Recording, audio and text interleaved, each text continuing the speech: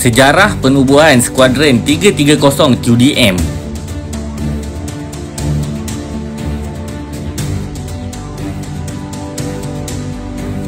Bagi memenuhi kekosongan liputan pengawasan radar di Malaysia Timur, dua unit pertahanan udara telah pun ditubuhkan iaitu Skuadron 340 Bukit Kubung, Labuan dan Skuadron 330 Kota Samarahan, Kuching. Kewujudan skuadron ini berperanan sebagai unit kontrol dan reporting center CRC di dalam menjalankan tugas-tugas pengawasan ruang udara Malaysia Timur demi menjaga kedaulatan negara. Sejarah penubuhan skuadron pertahanan udara di Sarawak telah bermula pada tahun 2000. Pada peringkat awal penubuhan, penempatan sementara Skuadron 331 telah ditubuhkan di Pangkalan Udara Kuching sebagai sebuah unit kontrol reporting post CRP. Pada awal penubuhannya, Major Alias bin Hassan QDM telah dilantik sebagai Ketua Timbalan Pendahulu Skuadron 331 dan skuadron ini beroperasi menggunakan radar S605H yang diterima daripada Skuadron 340 QDM Bukit Kubung pada 20 Januari 2000.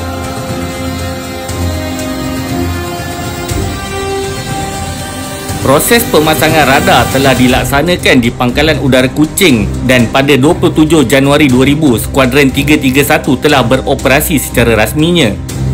Semua pembaikan serta senggaraan peralatan keseluruhan sistem radar S605H telah diserah serta dipertanggungjawabkan sepenuhnya kepada bahagian kejuruteraan Tim Pendahuluan Skuadron 331 Pangkalan Udara Kuching. Perkembangan teknologi merupakan aspek yang penting di dalam sistem pertahanan dan Skuadron 331 juga tidak terlepas daripada program permodenan aset sistem pertahanan udara negara. Pada 12 Oktober 2010, perkhidmatan sistem radar S605H telah ditamatkan secara rasminya dan sistem radar GM403 telah menggantikan sistem tersebut. Penubuhan Sistem Pertahanan Udara Nasional SPAN di bawah RMK ke-9 telah memberi kesan yang positif kepada sistem pertahanan udara negara. Melalui RMK ke-9, Kerajaan Malaysia telah meluluskan pelancaran projek SOC-3 Kuching Sarawak. Projek SOC-3 terdiri daripada tiga fasa yang merangkumi kompleks CRC, kawalan keselamatan, mes penempatan dan unit sokongan serta kompleks radar.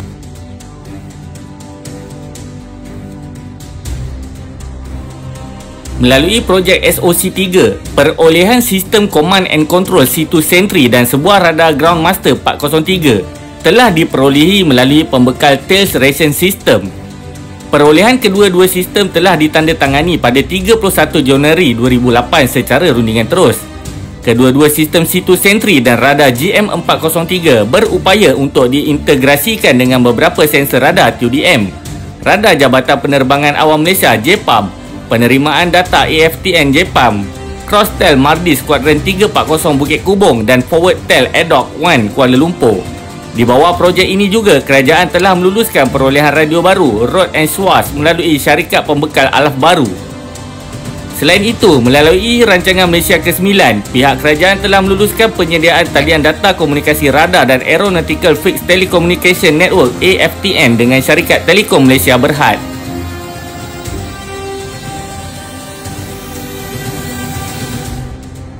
Permohonan dan pengambilan tanah daripada Kerajaan Negeri Sarawak untuk tapak infrastruktur bagi mendirikan kompleks SOC3 di Kota Samarahan dan kompleks radar TUDM di Gunung Ngili telah bermula pada 27 Mei 2007 dan selesai dilaksanakan pada 30 September 2009. Kontrak penyediaan infrastruktur fasa 1 telah dimeterai dengan syarikat Wika Jaya Sdn Berhad WJSB yang telah diberi tanggungjawab untuk membangunkan infrastruktur fasa 1 Kota Samarahan. Pelbagai cabaran dan rintangan telah dilalui di dalam mendirikan kompleks radar di Gunung Ngili dan ini memaksa pihak TUDM membuat keputusan untuk meletakkan sementara radar GM403 di kompleks SOC3 Kota Samarahan. Keputusan ini dibuat bersandarkan kepada keperluan operasi semasa yang mendesak dan pihak QDM tidak lagi dapat menanggung kelewatan pengoperasian radar GM403 ini.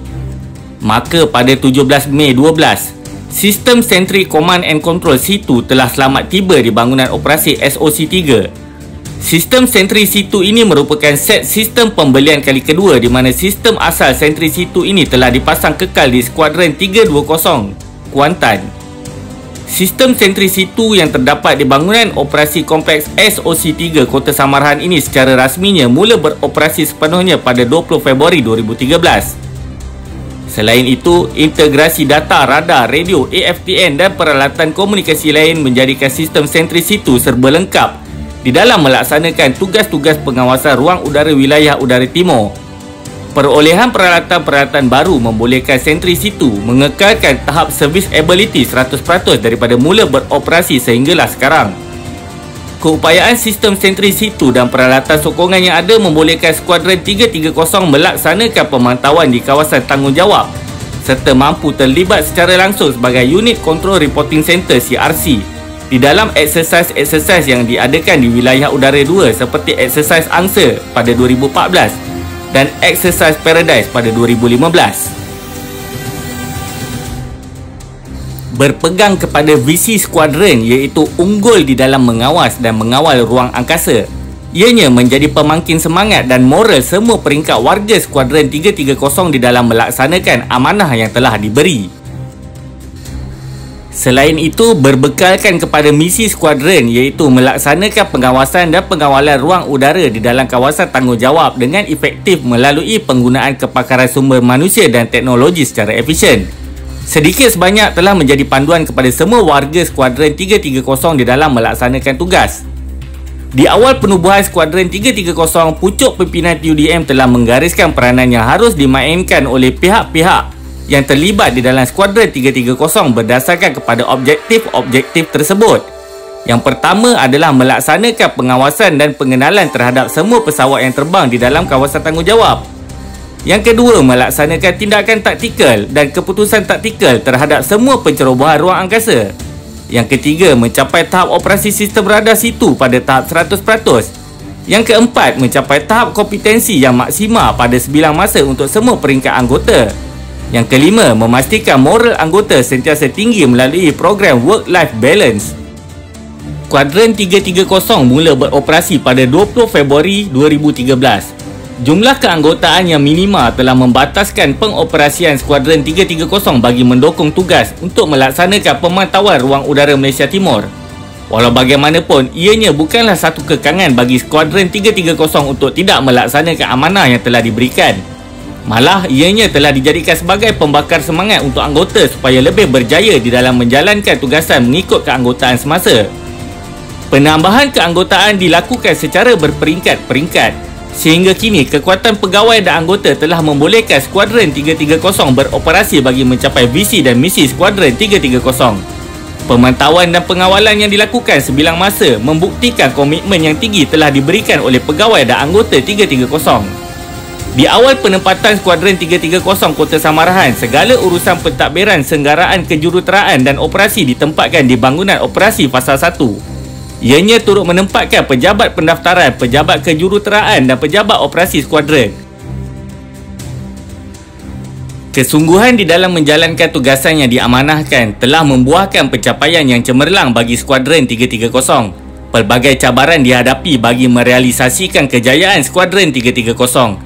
Ianya dapat dizahirkan dengan setiap laporan pengesanan pesawat asing yang memasuki zon curiga bagi wilayah udara 2.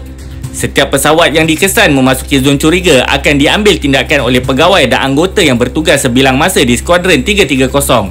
Sepanjang penugasan Skuadron 330 di dalam memantau ruang udara wilayah udara 2, terdapat banyak pesawat yang telah memasuki zon curiga di wilayah udara 2 yang mana Skuadron 330 telah mengambil tindakan untuk memintas pesawat-pesawat tersebut dengan menggunakan pesawat pejuang yang berada di Labuan. Selain daripada itu juga, Skuadron 330 telah terlibat secara langsung di dalam exercise yang dirancang oleh TUDM sebagai sebuah unit operasi.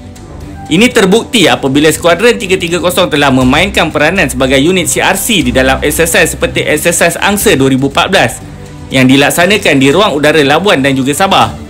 Exercise ini melibatkan aset-aset Tentera Darat Malaysia, Tentera Laut Diraja Malaysia dan TUDM yang dikoordinasikan oleh pihak pemerintahan ATM. Selain itu, Skuadron 330 juga terlibat secara aktif di dalam Exercise Paradise 2015 di mana exercise ini bertujuan menguji keupayaan aset-aset tempur TUDM khasnya. Begitulah serba sedikit sejarah penubuhan Skuadron 330 TUDM. Sekiranya anda mempunyai sebarang pendapat Sila kongsikan di ruangan komen yang disediakan di bawah. Terima kasih kerana menonton. Jangan lupa untuk menekan butang like dan juga subscribe. Assalamualaikum.